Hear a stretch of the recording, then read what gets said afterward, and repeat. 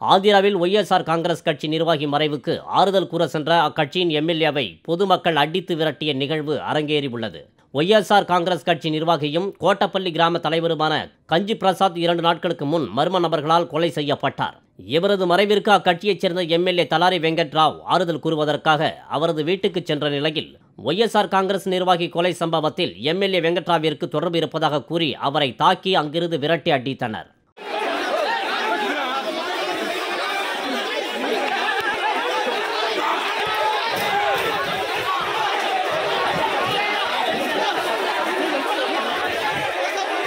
அப்போது அங்கு பாதுகாப்பு பணியில் இருந்த போலீசார் கிராம மக்களிடமிருந்து எம்எல்ஏ தலாரி வெங்கட்ராவை பாதுகாப்பாக மீட்டுச் சென்றனர்.